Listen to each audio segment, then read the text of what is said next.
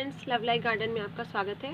Friends आज मेरा topic है कि गुलदाउदी पर हम दोबारा कैसे फ्लावरिंग लें? जैसे कि अब फ्लावर जाने का टाइम हो रहा है इनका एक बार फ्लावर आने के बाद ये देखिए स्प्लिंट हो गए हैं और इनको अगर हम नहीं हटाएँगे तो हमारा प्लांट मर, मरने लगता है।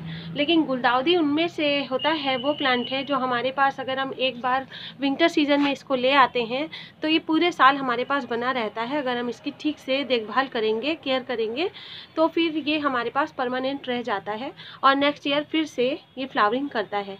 तो इसके लिए क्या करना है फ्रेंड्स सबसे पहले देखिए ये जो फ्लावर्स हो रहे हैं सूख रहे हैं अब ये मैंने आपको वीडियो में भी दिखाया है इनको खिले हुए लगभग दो से तीन दो महीना हो गया है। डेढ़ से दो महीना हो गया है फ्रेंड्स तो इनको आप आ, कट कर देंगे इस तरह से। ये पूरे सूखे फ्लावर हम हटा देंगे। देखकर फ्रेंड्स करिए, अगर आपको बड़ी कैची से दिक्कत है तो हमेशा अच्छा रहता है वैसे कि हम छोटी वाली ये ये वाली सीज़र यूज़ करें कटिंग के लिए। इससे प्रॉपर उसी जगह कटिंग होती है हमारी फ्लावर्स की, जहाँ पर हम काटना चाहते हैं स्लिम फ्लावर, इधर उधर नहीं कटता है। तो देखिए, इस तरह से ये सारे फ्लावर्स आप हटा दीजिए।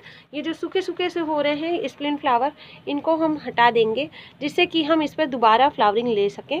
तो इस तरह से हम इसकी कटिंग कर देंगे। और जितना भी ये फ्लावर है, अब सुंदर तो बहुत लगता है फ्रेंड्स लेकिन इसका लालच नहीं करेंगे। अगर हम इनको हटा देंगे तो दोबारा फिर से ये हमारा प्लांट फ्लावरिंग करेगा। और अगर इस तरह हम रखेंगे तो प्लांट भी हमारा मरने लगता है और उसकी एनर्जी ये सूखे फ्लावर्स पर जाती है। सो फ्रेंड्स इनको हटाने के बाद अब क्या करना है?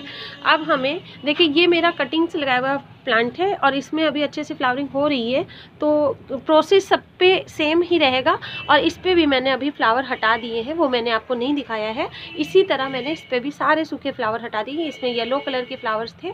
तो इन सारे फ्लावर्स को हटाने के बाद हम क्या करेंगे? बहुत हल्के हाथ से गुड़ाई कर लेंगे, पूरे पॉट की आप अच्छे से गुड़ाई करिए।